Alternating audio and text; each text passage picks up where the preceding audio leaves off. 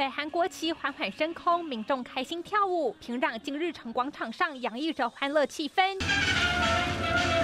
北韩庆祝建国七十六周年，大陆国家主席习近平和俄罗斯总统普京等多国领导人都发出贺电。奇怪的是，北韩领导人金正恩竟然没有现身国庆日活动，且金氏家族全体缺席。